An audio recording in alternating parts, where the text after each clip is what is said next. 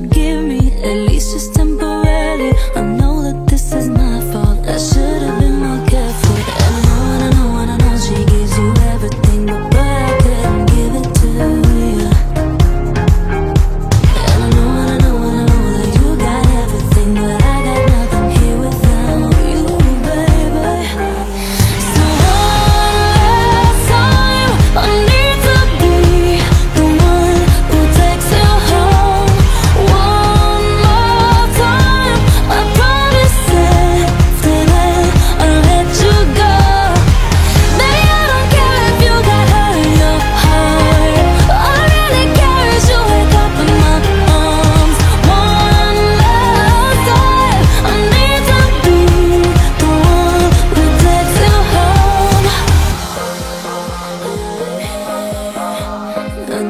should have fought it. At least I'm being honest. Yeah.